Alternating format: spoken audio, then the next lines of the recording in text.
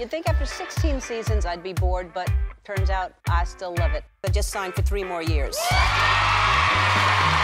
There is no stopping Ellen. Nope. This show gets more and more ridiculous every day. you make the world better. You're inspiring me. I'm amazing. I'm, I'm amazing. Ellen, Mondays to Fridays at 8 a.m. and again at 7, first on ETC.